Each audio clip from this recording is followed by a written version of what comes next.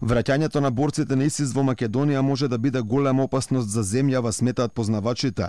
Пензионираниот началник во МВР Љубомир Ѓурчевски за Алфа вели дека според закон тие ќе ослужат својата казна на опасност од нив доаѓа и по времето минато во затвор. Вели прашање дали имаме соодветен кадар за нивна ресоциализација.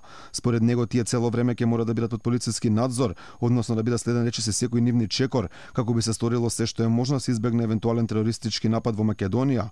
За Ѓурчевски проблем плуса што во наредниот период бројот на патници од ИСИС може да биде многу поголем.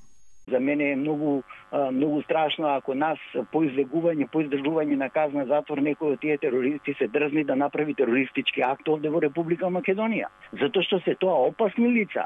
Затоа што тие лица треба постојано да бидат под некаков полициски надзор, лица под оперативен надзор.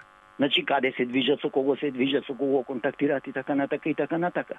Ѓурчевски потенцира дека Македонија има обврска да ги прими повратниците согласно меѓународните договори кои ги има ратификувано, но проблемот е што минативе години немаме сторено ништо за да можеме да ги прифатиме. И ние немаме прифатни центри, Република Македонија тука потврли, значи покрај тоа што донесе програм, но не изгради ни еден а, прифатен центар, во кој што прифатен центар ќе има значи можност за едукација, односно за преквалификација и доквалификација на семејствата, на лицава кои што се осудени и нивно вклопување на пазарот на трудот. Инаку со своите семејства во Македонија се вратени четири борци на ИСИС, тие моментално се во притвор. Според член 322 од кривичниот законник за повратниците од војската на исламската држава, следува казна затвор од најмалку 5 години.